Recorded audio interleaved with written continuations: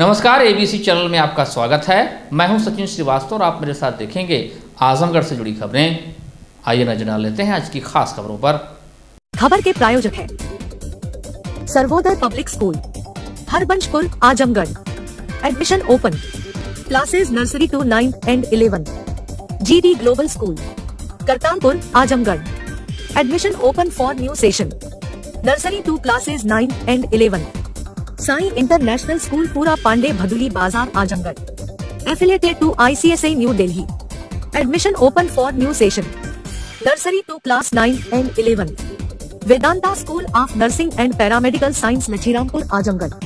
QCI rating में एक श्रेणी प्राप्त कर बना मंडल का पहला इंस्टीट्यूट और लाइफस्टाइल फर्नीचर बेलानाडी आजमगढ़। आजमगढ़ के कंधरापुर क्षेत्र स्थित Seth M R Jaipuria school में बीजेपी की कलस्टर बैठक में पहुँचे मध्य प्रदेश के मुख्यमंत्री मोहन यादव ने तीन सत्रों में आजमगढ़, लालगंज, घोसी, बलिया व सलेमपुर लोकसभा क्षेत्र के पदाधिकारियों के साथ बैठक कर 2024 के लोकसभा चुनाव में जीत के लिए मंत्र दिया। आजमगढ़ सहित पूर्वांचल के यादव वोटरों को साधने में मध्य प्रदेश के चीफ मिनिस्टर का यह दौरा काफ़ी अहम माना जा रहा है। क्योंकि यादव वोटरों का अधिकतर झुकाव समाजवादी पार्टी की तरफ़ है और सपा को इसका लाभ लोकसभा और विधानसभा चुनाव में मिलता रहा है। 2024 के लोकसभा चुनाव में भाजपा की रणनीति सपा के परंपरागत यादव मतदाताओं को अपने पक्ष में जोड़ने की है। भाजपा अपने मिशन में कितना सफल होगी यह तो 2024 के चुनाव परिणाम बताएँगे। समाजवादी पार्टी का गढ़ माने जाने वाले आजमगढ़ में मीडिया से बातचीत करते हुए एमपी के सीएम मोहन यादव ने कहा कि बीजेपी के अखिल भारतीय प्रवास के अंतर्गत कार्यकर्ताओं के साथ तीन अलग अलग बैठक में शामिल हुआ हूँ। लगातार तीसरी बार मोदी की सरकार बनाने के लिए हम लोग कृत संकल्पित हैं। भले ही मैं एक बड़े राज्य का मुख्यमंत्री हूँ, लेकिन मूल रूप से एक बीजेपी का कार्यकर्ता हूँ। राष्ट्रीय अध्यक्ष ने अलग अलग नेताओं के लिए प्रवास बनाए हैं। उसी के क्रम में मैं आजमगढ़, यूपी में हूँ। लोकसभा क्षेत्र में लोकसभा प्रभारी, संयोजक से लेकर अन्य लोगों को जो ज़िम्मेदारी दी गई है। जो कार्यकर्ताओं को ज़िम्मेदारी दी गई है, उसका कुशलता के साथ निर्वहन कर रहा है। अयोध्या के बाद जो दृश्य बन रहा है, उससे विकास का नया प्रतिमान बन रहा है। फर्नीचर सौ करोड़ से ज़्यादा की जनसंख्या के लिए मोदी एक चेहरा बनकर सामने आया है। सामानों की भरपूर लगातार तीसरी बार सरकार बनेगी। ईएमआई की सुविधा सभी कार्यकर्ता अपने संगठन की जिम्मेदारियों का निर्वहन कर रहे हैं और जैसे ही लोकसभा के चुनाव की घोषणा होगी सभी कार्यकर्ता अपने उद्देश्यों की पूर्ति में लग जाएँगे। हालाँकि मीडिया से बातचीत के दौरान भाजपा द्वारा यादव वोटरों को साधने के सवाल पर एमपी के सीएम बचते नज़र आए। भारतीय जनता पार्टी का अलमीरा सोफा अखिल भारतीय प्रवास कार्यक्रम के अंतर्गत आज आजमगढ़ में संगठन के कार्यकर्ताओं के साथ तीन अलग अलग बैठकों में शामिल हो रहा हूँ। यशस्वी प्रधानमंत्री माननीय नरेंद्र मोदी जी की फिर एक बार मोदी सरकार हम सब इसी के लिए कृत संकल्पित है। और कार्यकर्ता होने के नाते से मैं चाहे एक बड़े राज्य का मुख्यमंत्री भले ही हूँ लेकिन मूल मेरा कार्यकर्ता भाव है। इस नाते से राष्ट्रीय अध्यक्ष जी ने हमारे कुछ प्रवास बनाए अलग अलग स्थानों पर जाने के। उसी सिलसिले में आज मैं आजमगढ़ यूपी में हूँ और मुझे इस बात की प्रसन्नता है कि हमारे अपने श्रेणी सह कार्यकर्ता अपने अपने लोकसभा के अंदर जो उनकी जवाबदारी दी गई है, लोकसभा प्रभारी, लोकसभा संयोजक, जिला अध्यक्ष या अलग अलग श्रेणी के कार्यकर्ता, और मुझे जिस प्रकार का लक्षण दिखाई दे रहा है, मुझे अत्यंत प्रसन्नता है कि हमारा अपना उत्तर प्रदेश का, भाजपा का संगठन बहुत कुशलता के साथ अपने जो जो उनको उत्तरदायित्व तो दिया है, उसका निर्वहन कर रहा है। और खास हम सब देख रहे हैं कि उत्तर प्रदेश तो पूरे देश को लीड कर रहा है। अयोध्या के बाद जिस प्रकार का वातावरण दिखाई दे रहा है, यशस्वी प्रधानमंत्री के नेतृत्व में उनके कर्तृत्व से जनता ने न केवल उनका दिल जीता है, बल्कि सभी प्रकार के विकास की संभावनाओं के प्रतिमान बन के नरेंद्र मोदी जी का चेहरा सबके सामने आया है। इसलिए पूरे देश की लगभग 100 करोड़ से ज़्यादा की आबादी के मतदाता सब तय कर चुके हैं कि तीसरी बार फिर मोदी सरकार। मैं उम्मीद कर रहा हूँ कि जिस प्रकार से समय चल रहा है आज के इस दौर में निश्चित रूप से हमारे लिए पूरे चेतना और चैतन्यता के साथ हम अपने संगठन के कामों के साथ साथ जैसे लोकसभा चुनाव की घोषणा होगी सभी राज्य और सभी राज्य के कार्यकर्ता अपने अपने उद्देश्य की पूर्ति के लिए लगेंगे। मेरे चौधरी जी और बाकी कार्यकर्ता यहाँ मौजूद है। मैं आपका भी अभिनंदन करता हूँ, चूँकि आजमगढ़ मेरा पहला प्रवास है।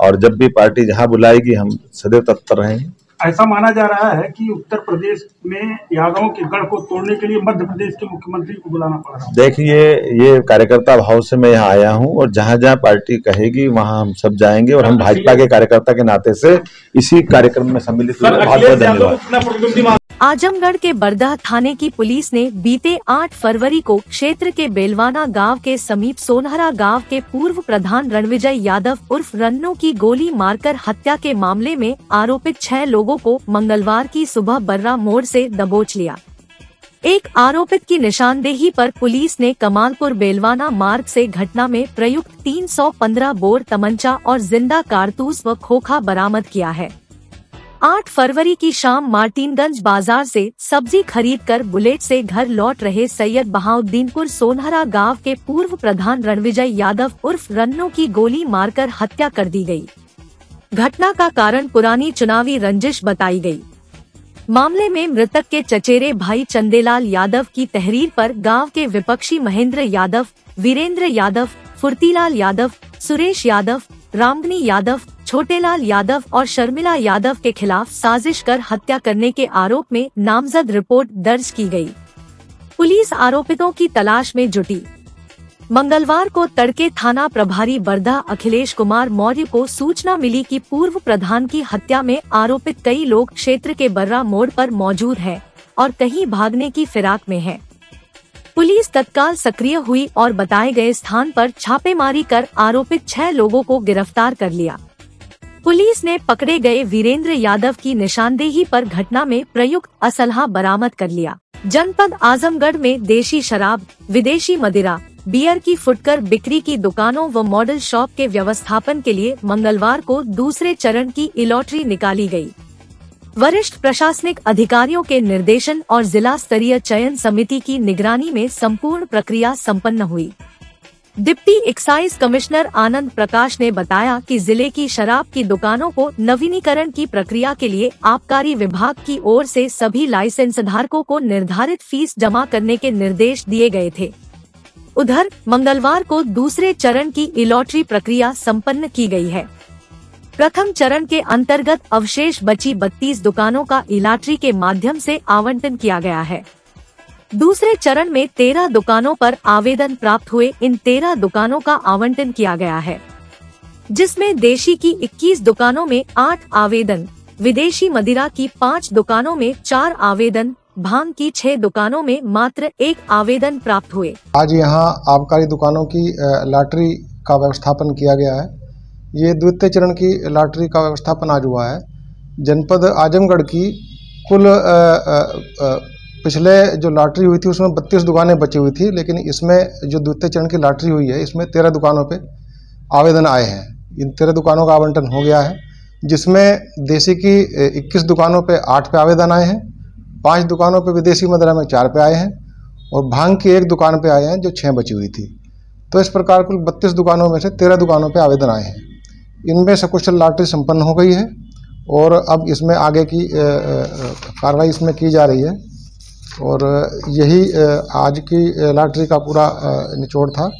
तो इसको आज संपन्न सकुशल करवा लिया गया है। और आगे जो दुकानें बची हैं, इनको आगे जैसे जैसे शासन के निर्देश मिलेंगे उसी के आधार पर इनको व्यवस्थित कराया जाएगा। जिलाधिकारी विशाल भारद्वाज व पुलिस अधीक्षक अनुराग आर्य की अध्यक्षता में हरिऔद कला केंद्र में उत्तर प्रदेश पुलिस में आरक्षी नागरिक पुलिस के पदों पर सीधी भर्ती 2023 की लिखित परीक्षा को नकल विहीन शांतिपूर्ण ढंग से संपन्न कराए जाने हेतु सेक्टर मजिस्ट्रेट एवं स्टैटिक मजिस्ट्रेट के साथ यह बैठक संपन्न हुई। इस अवसर पर जिलाधिकारी ने बताया कि उत्तर प्रदेश पुलिस में आरक्षी नागरिक पुलिस के पदों पर सीधी भर्ती 2023 की लिखित परीक्षा का आयोजन 17 फरवरी एवं 18 फरवरी को विभिन्न परीक्षा केंद्रों पर दो सत्रों में अड़सठ परीक्षा केंद्रों पर आयोजित की जाएगी, जिसमें कुल इकतीस हज़ार नौ सौ चवालीस प्रतिपाली अभ्यर्थी सम्मिलित होंगे। उन्होंने बताया कि जनपद में निर्धारित अड़सठ परीक्षा केंद्रों पर परीक्षा की सुचिता बनाए रखने, परीक्षा केंद्रों का निरीक्षण करने एवं शांति विधि व्यवस्था सुनिश्चित करने व परीक्षा केंद्रों पर परीक्षा सामग्री पहुँचाने हेतु सेक्टर मजिस्ट्रेट तथा परीक्षा को नकल विहीन शांतिपूर्ण ढंग से संपन्न कराए जाने हेतु सेक्टर मजिस्ट्रेट एवं प्रत्येक केंद्र पर एक स्टैटिक मजिस्ट्रेट की तैनाती की गई है। उन्होंने निर्देश दिए कि स्टैटिक मजिस्ट्रेट अपनी देखरेख में शुचितापूर्ण ढंग से परीक्षा को संपादित कराएँगे। सेक्टर मजिस्ट्रेट परीक्षा तिथि पर सेक्टर के केंद्रों से प्रथम एवं द्वितीय पाली की परीक्षा से संबंधित गोपनीय परीक्षा सामग्री प्रश्न पत्र ओएमआर एवं पैकेजिक सामग्री के ट्रंक बंडल कोषागार के डबल लाख से समय से प्राप्त करने व उन्हें अपने परीक्षा केंद्र पर निर्धारित समय तक पहुँचाने के लिए उत्तरदायी होंगे। वह अपने सेक्टर के परीक्षा केंद्रों की जनपद मुख्यालय से दूरी को ध्यान में रखते हुए कोषागार से उक्त सामग्री प्राप्त करना सुनिश्चित करेंगे। परीक्षा के बाद दोनों पाली की सभी परीक्षा सामग्री केंद्र व्यवस्थापक एवं पर्यवेक्षक व स्टैटिक मजिस्ट्रेट से प्राप्त कर कोषागार द्वितालक में जमा कराएँगे। सेक्टर मजिस्ट्रेट परीक्षा के दौरान अपने सेक्टर के परीक्षा केंद्रों पर भ्रमणशील रहते हुए पर्यवेक्षक से समन्वय बनाए रखेंगे तथा सुनिश्चित करेंगे कि परीक्षा की शुचिता बनी रहे। पुलिस अधीक्षक ने निर्देश दिए कि केंद्र व्यवस्थापक परीक्षा केंद्र में परीक्षा सकुशल संपन्न कराए जाने हेतु सभी व्यवस्थाओं के लिए उत्तरदायी होंगे। वे परीक्षा में पूर्ण की जाने वाली सभी तैयारी सुनिश्चित कराएँगे तथा परीक्षा संबंधी सामग्री का सुरक्षित रखरखाव सुनिश्चित कराएँगे समस्त केंद्र व्यवस्थापक नकल विहीन, निर्विघ्न एवं सकुशल परीक्षा संपन्न कराए जाने तथा परीक्षा हेतु आवश्यक व्यवस्था हेतु उत्तरदायी होंगे उन्होंने पुलिस के अधिकारियों को निर्देश दिए कि अभ्यर्थियों की फ्रिस्किंग ठीक से कराएँ। इस अवसर पर अपर जिलाधिकारी प्रशासन राहुल विश्वकर्मा ने विस्तृत जानकारी प्रदान की। अठारह फरवरी 2024 को उत्तर प्रदेश पुलिस भर्ती आयोग की तरफ़ से परीक्षा का आयोजन किया गया है, जिसमें जनपद आजमगढ़ में कुल अड़सठ केंद्र बनाए गए हैं। इसमें चार पालियों में परीक्षा आयोजित की जाएगी, जिसमें एक पाली में इकतीस हज़ार नौ सौ चौवालीस परीक्षार्थी प्रतिभाग करेंगे। इस तरह से जनपद आजमगढ़ में लगभग सवा लाख परीक्षार्थी दो दिवसों में, चार पालियों में प्रतिभाग करेंगे। इस हेतु पूरे जनपद को तेईस सेक्टरों में बांटा गया है। अड़सठ स्टैटिक मजिस्ट्रेट अड़सठ केंद्र व्यवस्थापक सेक्टर मजिस्ट्रेट साहबान और रिज़र्व में लगे हुए कार्मिकों का आज प्रशिक्षण जिलाधिकारी महोदय एवं पुलिस अधीक्षक महोदय जनपद आजमगढ़ द्वारा हरिगौत कला भवन में किया गया था। इसमें जो भी एजेंसियाँ इन्वॉल्व हैं, जो भी विभाग इन्वॉल्व हैं, सभी के उच्च अधिकारियों की मीटिंग डीएम साहब और एसपी साहब द्वारा ली गई है और सभी को पारदर्शी सुचितापूर्ण परीक्षा संपन्न कराए जाने के निर्देश दिए गए हैं। इसके अतिरिक्त हमारी जो सतर्कता एजेंसियाँ हैं, वो भी लगी हुई हैं राउंड द क्लॉक और किसी भी तरह की कोई भी संदिग्ध स्थितियों पर हम लोग लगातार नज़र रखे हुए हैं। भारतीय जनता पार्टी की। लोकसभा क्लस्टर बैठक Seth M R Jaipuria school Kandharapur में हुई। आजमगढ़ लोकसभा क्लस्टर में लोकसभा आजमगढ़ सदर, लालगंज, सलेमपुर, घोसी, बलिया की लोकसभा चुनाव प्रबंधन समिति जिलाध्यक्ष गण विधानसभा संयोजक।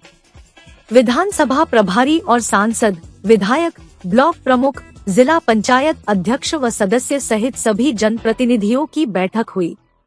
इस बैठक के मुख्य अतिथि मध्य प्रदेश के मुख्यमंत्री डॉक्टर मोहन यादव रहे तथा विशिष्ट अतिथि भाजपा प्रदेश अध्यक्ष भूपेंद्र सिंह चौधरी रहे। मुख्यमंत्री मध्य प्रदेश डॉक्टर मोहन यादव ने संबोधित करते हुए कहा कि भाजपा का वोट प्रतिशत बढ़े, लोग भाजपा से जुड़े, इसके लिए पूरे देश में अभियान चल रहा है। इसी सिलसिले में अखिल भारतीय प्रवास कार्यक्रम चालू है। उत्तर प्रदेश में मेरा पहला प्रवास आजमगढ़ का है। मेरे लिए और गौरव की बात है। करीब चार पीढ़ी पहले मेरे पूर्वज यहीं से इंदौर गए थे। आजमगढ़ और उत्तर प्रदेश से मेरा विशेष रिश्ता भी है। मैं अपने पुरखों की धरती पर परिवार के बीच आकर अत्यंत आनंदित हूँ। कहा कि लगातार तीसरी बार मोदी सरकार बनाने के लिए हम लोग कृत संकल्पित हैं। भले ही मैं एक बड़े राज्य का मुख्यमंत्री हूँ, लेकिन मूल रूप से एक बीजेपी का कार्यकर्ता हूँ। राष्ट्रीय अध्यक्ष ने अलग अलग नेताओं के लिए प्रवास कार्यक्रम बनाए हैं। उसी के क्रम में मैं आजमगढ़, यूपी में हूँ। आगामी लोकसभा चुनाव में जीत तय करने के लिए लोकसभा प्रभारी, संयोजक से लेकर वरिष्ठ कार्यकर्ताओं को ज़िम्मेदारी सौंपी गई है, जिसका कुशलता पूर्वक निर्वहन किया जा रहा है। प्रधानमंत्री मोदी जी के नेतृत्व में अयोध्या में राम मंदिर के प्राण प्रतिष्ठा के बाद जो दृश्य बन रहा है, वह विकास का नया कीर्तिमान बना रहा है। सौ करोड़ से ज़्यादा की जनसंख्या के लिए मोदी एक चेहरा बनकर सामने आए हैं। लगातार तीसरी बार उनको प्रधानमंत्री बनाने के लिए सभी कार्यकर्ता अपनी जिम्मेदारियों का निर्वहन कर रहे हैं और जैसे ही लोकसभा के चुनाव की घोषणा होगी, अपने उद्देश्यों की पूर्ति में लग जाएँगे।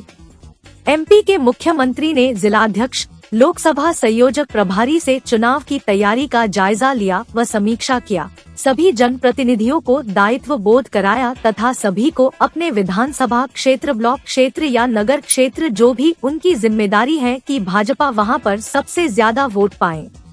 भाजपा प्रदेश अध्यक्ष भूपेंद्र सिंह ने मुख्यमंत्री का स्वागत करते हुए कार्यकर्ताओं से सभी सीटों को जिताने का आह्वान किया। कार्यक्रम की अध्यक्षता क्षेत्रीय अध्यक्ष भाजपा गोरखपुर क्षेत्र सहजानंद राय ने किया तथा मंच का संचालन क्षेत्रीय महामंत्री सुनील गुप्ता ने किया। भारतीय जनता पार्टी लालगंज जिला अध्यक्ष सूरज प्रकाश श्रीवास्तव व सदर जिला अध्यक्ष श्री कृष्ण पाल ने पुष्प, गुच्छ, अंग, वस्त्र और वन डिस्ट्रिक्ट वन प्रोडक्ट की ब्लैक पॉटरी देकर सभी अतिथियों को सम्मानित किया। इस अवसर पर भाजपा प्रदेश अध्यक्ष चौधरी भूपेंद्र सिंह, प्रदेश उपाध्यक्ष पूर्व सांसद नीलम सोनकर, प्रदेश महामंत्री भाजपा गोरखपुर क्षेत्र के प्रभारी गोविंद नारायण शुक्ला एमएलसी।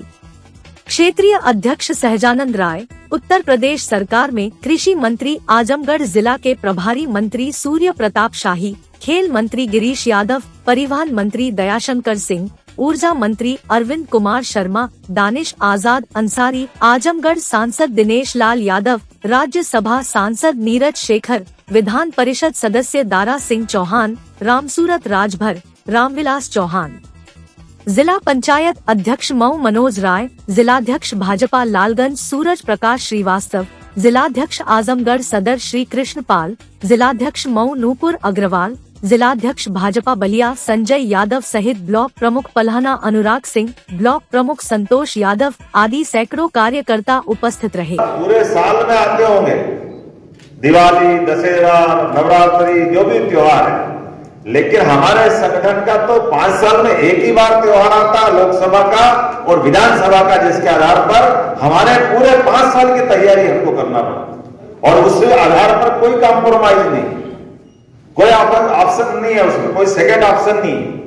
हमको या तो इधर आना है या उधर जाना और मुझे इस बात की खुशी है, परमात्मा की कृपा से कितना करिश्माई नेतृत्व तो हमारे पास कल ही हमने देखा कतर के अंदर कि जिनको फांसी की सजा मिल गई थी, वो खुशी खुशी वापस आए और उनके अपने राष्ट्र अध्यक्ष ने कहा कि हाँ हमने दी हुई सजा को, उनकी कोर्ट की सजा को।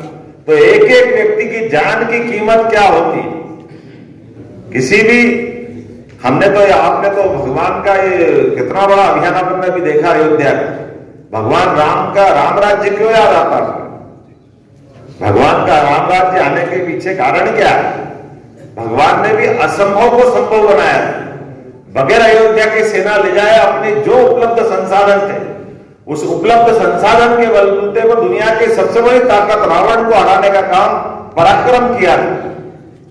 यह पराक्रम और पुरुषार्थ का काम का उदाहरण भगवान राम का है। ऐसे ही भगवान कृष्ण का है कि अपने ग्वाल बाल और बिल्कुल गोकुल वृंदावन के मित्रों के साथ मिलकर के कंस जैसी बड़ी शक्ति को परास्त करके अपना जो डंका बजाया लेकिन ये जो हम भगवान राम और भगवान कृष्ण की संस्कृति को मानने वाले लोग आज भी जाने अनजाने काल के प्रभाव में जो हमारी जो विसंगतियाँ हुई कई कारणों से हमारे देश को गुलाम होना पड़ा तो जब देश आज़ाद हुआ, देश आज़ादी के बाद अपनी खुले हवा में सांस ले रहा, हमारी दुनिया के अंदर अच्छाई बांटने का मौका चालू हुआ और ऐसे मौके चालू होने में परमात्मा की दया से, ऐसे नेतृत्व जो 24 घंटे अहर्निश सेवा कर रहे हैं, लगातार मेहनत कर रहे हैं। अगर नरेंद्र मोदी जी 24 घंटे मेहनत कर रहे हैं तो किस बात के लिए कर रहे हैं? वो स्वयं के लिए कर रहे हैं नहीं, वो केवल एक ही बात के लिए मेहनत कर रहे हैं कि भारत का मान बढ़े, भारत का सम्मान बढ़े, सनातन संस्कृति जय जयकार हो हम हम और आप मिलकर के मानवता के लिए संसार में भारत की पहचान बना इस पूरा वसुदेव कुटुंबकम की बात करने के लिए जिस प्रकार से हमारी संस्कृति, हमारे विचार को लेकर चलती रही, उस धारा को बनाए रखना, ये हम सब की जवाबदारी हमारे अपने गर्भगृह में भगवान राम अगर मुस्कुरा रहे हैं तो इसलिए नहीं मुस्कुरा रहे हैं कि वो केवल मंदिर में बैठे। मंदिर में तो बहुत आखिरी में बैठे। जीवन में सबके जीवन से कठिनाई दूर करके पंडित दीनदयाल उपाध्याय का अंत्योदय का जब तक हम लागू नहीं करेंगे, तब तक हम चैन से नहीं बैठेंगे। ये हमारे भारतीय जनता पार्टी कार्यकर्ताओं का संकल्प। हमने हरेक के जीवन से कष्ट मिटा करके सबको मानव जीवन को न्यूनतम जो उनकी आवश्यकता, वो सारी पूर्ति करते और सारी पूर्ति करने में केवल रोटी कपड़ा मकान नहीं, उनका अपना जीवन का उदात्त बड़ा उद्देश्य, जिसके भरोसे से समूची मानवता धन्य हो जाए। तो मुझे लगता है, आज के इस अवसर पर हम जब दोबारा या तिबारा चुनाव की दिशा में जा रहे हैं माननीय मोदी जी की सरकार बनाने के लिए तो उस स्टेप में हम ध्यान देंगे। आपको ध्यान होगा कि नंबर वन यानी 2014 से 19 में सरकार अगर माननीय मोदी जी ने बनाई तो एक निराशा के दौर से सरकार बनाई थी। चारों तरफ़ बवंडर था, चारों तरफ़ भ्रष्टाचार था, कैसा माहौल था कि हमारा अपना आत्मविश्वास भी हिला हुआ था। मनमोहन सिंह जी बहुत ज्ञानी, विद्वान सब कुछ थे। लेकिन मनमोहन सिंह जी के हाथ में लोकतंत्र उस समय का सबसे लचर लोकतंत्र अगर कहीं रहा तो मनमोहन सिंह जी के समय था कि प्रधानमंत्री कोई और है, सरकार कोई और चलाता था। यूपीए का गठबंधन की नेतृत्व करता, सोनिया गांधी जी के नेतृत्व में प्रधानमंत्री को कोई निर्णय करना हो। तो पहले वहाँ पूछने जा रहे थे। और उससे बढ़कर दुर्भाग्य तब होता कि उनके द्वारा लाया गया अध्यादेश को फाड़ करके कोई उनका तीसरा बेटा भेज देता। ये जो मज़ाक बनाया गया था लोकतंत्र का, लोकतंत्र में सबसे बड़ी ताकत अगर कहीं है तो प्रधानमंत्री के पद में और उस प्रधानमंत्री के पद की गरिमा को गिराने का काम अगर किसी के माथे है तो कांग्रेस के माथे और कांग्रेस के उस कलंक को धोने का काम किसी ने किया तो भारतीय जनता पार्टी ने किया हमारे यशस्वी प्रधानमंत्री को। जिस प्रकार से दायित्व तो दिया गया एक गरीब आदमी का बेटा देश का प्रधानमंत्री बन सकता है, इसी के लिए तो चंद्रशेखर आज़ाद ने अपने खुद का बलिदान दिया है देश की आज़ादी के लिए। इसी के लिए तो भगत सिंह ने अपने आप का बलिदान दिया कि लोकतंत्र होना चाहिए और लोकतंत्र में क्या ज़रूरी है? लोकतंत्र में सच्चा लोकतंत्र वही है जनता के हाथ में उसकी ताकत होना चाहिए। और जनता के प्रतीक के नाते से हमारे प्रधानमंत्री दुनिया में जाने जाते हैं। मुझे इस बात की प्रसन्नता है कि मेरी पृष्ठभूमि भी वही है कि हम बिल्कुल सामान्य कार्यकर्ता है, चाहे मंत्री बनो, चाहे मुख्यमंत्री बनो, लेकिन कार्यकर्ता जनता में से निकल के बन सकता है और भारतीय जनता पार्टी उसको बनाती है, ये दिखाने वाला अगर कोई संगठन है। बड़े कष्ट भोगे समाज में, जिसकी कमजोरियों के कारण से देश के अंदर कई कई कारण से। आज़ादी के पहले तो हमको गुलाम बनाने का प्रयास किया लेकिन सत्ता के आधार पर भी आज भी कई कई कारण से ऐसे जो गठबंधन बनते हैं जो हमारे देश की प्रगति रोकते हैं, देश के समाज में फूट डालते हैं आजमगढ़ के पुलिस अधीक्षक अनुराग आर्य ने कानून व्यवस्था को चुस्त दुरुस्त बनाए रखने को लेकर दिए गए निर्देशों के क्रम में सोमवार की शाम को शहर कोतवाली प्रभारी शशि मौली पांडे ने पुलिस फोर्स के साथ मुख्य चौक व आसपास के क्षेत्र में फुट मार्च किया इस दौरान अराजक तत्वों पर शिकंजा कसने को लेकर जगह जगह पुलिस फोर्स द्वारा चेकिंग की गई। कालीनगंज स्थित देशी शराब के दुकान पर पहुंचकर पुलिस ने वहाँ आने जाने वाले और उसके सामने जमावड़ा लगने वाले लोगों को चेतावनी दी शराब के सेल्समैन को भी अराजक तत्वों के आने को लेकर चेतावनी दी गई। इसके साथ ही जगह जगह वाहनों को रोककर चेकिंग किया गया सड़क पर और बाज़ार में महिलाओं की सुरक्षा को लेकर संदिग्ध लोगों से पूछताछ कर उनको चेतावनी दी गई। इस दौरान एक साथ पुलिस फोर्स को देकर लोगों में कौतूहल भी था और किसी घटना की आशंका को लेकर लोग आशंकित भी थे। हालाँकि पुलिस अधीक्षक के निर्देश पर निकली पुलिस यह सुनिश्चित करना चाह रही थी कि अराजक तत्वों पर लगाम कसी जा सके। शहर कोतवाली प्रभारी शशिमौली पांडे के साथ एलवल पुलिस चौकी प्रभारी भी मौजूद रहे। भारत जोड़ो न्याय यात्रा राहुल गांधी के नेतृत्व में 14 जनवरी 2024 से मणिपुर से प्रारंभ होकर मणिपुर नागालैंड आसाम आंध्र प्रदेश पश्चिम बंगाल झारखंड, उड़ीसा छत्तीसगढ़। होते हुए 16 फरवरी 2024 को उत्तर प्रदेश के चंदौली ज़िले में प्रवेश कर रही है। राहुल गांधी एवं भारत जोड़ो न्याय यात्रा के स्वागत में मंगलवार को जिला कांग्रेस कार्यालय आजमगढ़ तैयारी बैठक प्रदेश सचिव आजमगढ़ प्रभारी अनीश खान के अध्यक्षता में संपन्न हुई जनपद आजमगढ़ जिला कांग्रेस कमेटी द्वारा अपने नेता के स्वागत में भारी संख्या में जनपद चंदौली में 16 फरवरी को पहुँचेंगे जिला कांग्रेस कमेटी के पदाधिकारी गण एआईसीसी पीसीसी एवं वरिष्ठ कांग्रेस जन अपने शक्ति अनुसार गाड़ियों की व्यवस्था की है। आजमगढ़ से काफिला के साथ निकलने का निर्णय लिए है। काफिला 16 फरवरी सुबह 8 बजे निकलेगा भारत जोड़ो न्याय यात्रा। भारत के प्रमुख पाँच न्याय, युवा न्याय, किसान न्याय, नारी न्याय श्रमिक न्याय, भागीदारी न्याय जिसके माध्यम से समाज के इन वर्गों के लोगों को न्याय दिलाना है, जो अब तक देखा गया है। राहुल गांधी प्रत्येक प्रांत के लोगों से मिलकर की उनकी समस्याओं से रूबरू होकर नज़दीक से उनके दर्द को समझ रहे हैं। 2024 में कांग्रेस की सरकार बनेगी, इन समस्याओं को प्राथमिक रूप से निपटारा किया जाएगा। इस नफरत के बाज़ार में मोहब्बत का पैगाम लेकर निकले राहुल गांधी के साथ भारी जन समर्थन प्राप्त हो रहा है, जिसे वर्तमान भाजपा सरकार डर गई है, जिसका जीता जागता उदाहरण जिन जिन प्रांतों में उनकी सरकारें हैं, वहाँ सरकारी तंत्र का दुरुपयोग कर भारत छोड़ो न्याय यात्रा असफल प्रयास किया जा रहा है।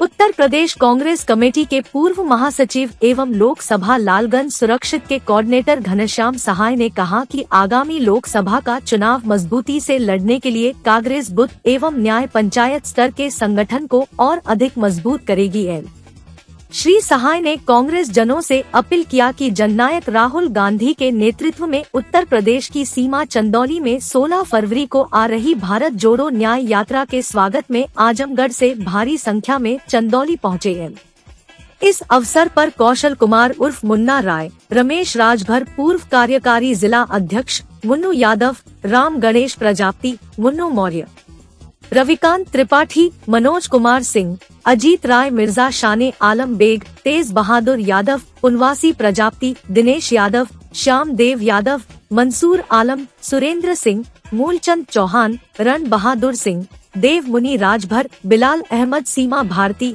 किरण कुमारी, योगेंद्र यादव, रामानंद सागर, शहजादे सिंह, राजदेव कनौजिया, अरविंद जायसवाल, जगदम्बिका चतुर्वेदी, ओम प्रकाश सरोज, प्रमोद यादव आदि लोग उपस्थित रहे। आजमगढ़ ज़िले के सरायमीर थाना क्षेत्र के कुरियाव गाँव में भूमि विवाद की रंजिश को लेकर दबंग पड़ोसियों ने पीड़ित को जमकर मारा पीटा व जान से मारने की धमकी देते हुए फरार हो गए। पीड़ित ने इसकी शिकायत सरायमीर थाना में की तो पुलिस ने पीड़ित का ही चालान कर दिया।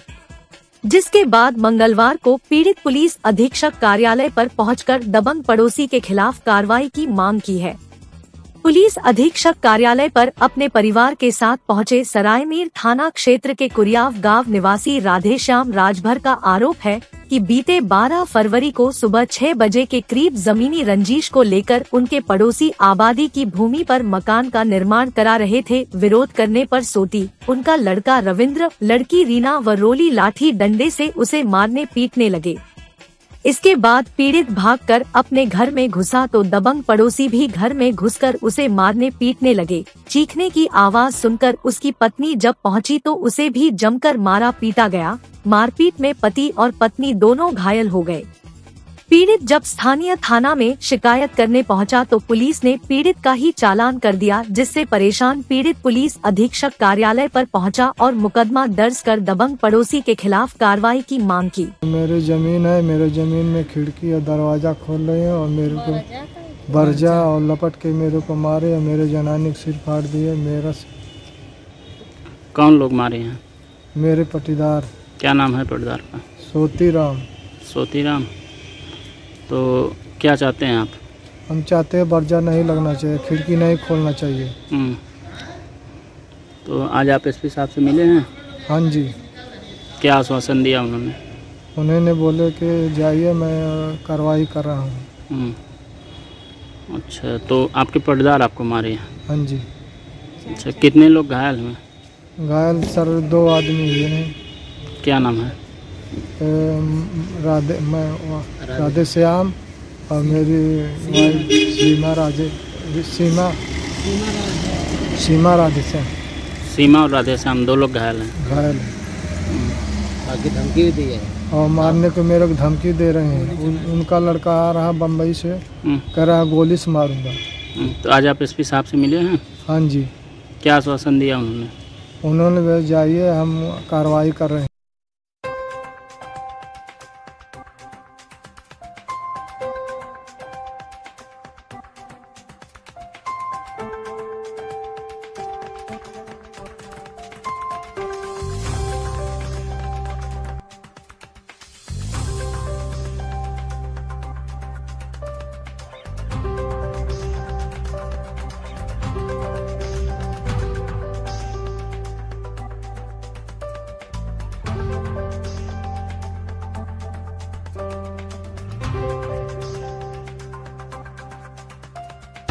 उत्तर प्रदेश के 613 नर्सिंग और पैरामेडिकल कॉलेज में से 20 कॉलेज क्यूसीआई रेटिंग में ए श्रेणी प्राप्त कर बने मेंटल इंस्टीट्यूट। आजमगढ़ मंडल और ज़िले का नाम रोशन कर Vedanta school of nursing and paramedical science Lachhirampur Azamgarh QCI rating में ए श्रेणी प्राप्त कर बना मंडल का पहला institute. Wifi campus, smart classroom, live projects, special placement cell, scholarship, separate hostel for boys and girls. Admission या अन्य जानकारी के लिए संपर्क करें। सर्वोदया पब्लिक स्कूल या R T O office Harbanspur, Azamgarh. Affiliated to C B S E admission open from classes nursery to nine and eleven जहाँ है highly experienced faculty advance labs magnificent library huge play ground with lush green campus separate ground for pre nursery separate classes available for girls and boys We also organize sports, music, smart classes, and many more facility available. Lifestyle furniture, Belnadi Azamgarh सभी प्रकार के furniture एवं electronic सामानों की भरपूर range उपलब्ध हमारे यहाँ ईएमआई की सुविधा ज़ीरो प्रतिशत ब्याज पर उपलब्ध इलेक्ट्रॉनिक सामानों में LED TV, refrigerator, washing machine, air conditioner, air cooler, deep freezer, water cooler, mixer juicer, iron, fan, induction, battery, inverter, electric geyser, gas geyser, आटा चक्की इत्यादि। फर्नीचर के सामानों में बेड, गद्दा, सिंगारदान, अलमीरा, sofa, table, chair, rack, stool, संदीली, सीढ़ी, डाइनिंग टेबल, झूला आदि।